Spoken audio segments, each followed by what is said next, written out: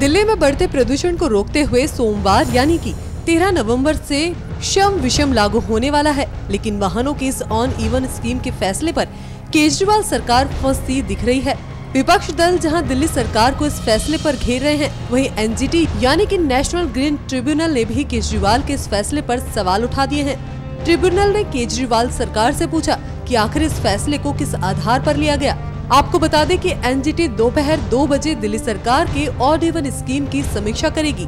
NGT ने दिल्ली सरकार से पिछली दो बार लागू किए ऑड इवन फॉर्मूले के दौरान हवा की क्वालिटी के आंकड़े भी मांगे हैं। ट्रिब्यूनल इस आधार पर ही केजरीवाल सरकार के ताज़ा फैसले की समीक्षा करेगा। साथ ही एनजीटी अगर इस फैसले को कैंसिल करता है तो दिल्ली सरकार की काफ़ी किरकिरी हो सकती है। एनएमएफ न्यूज़ की रिपोर्ट।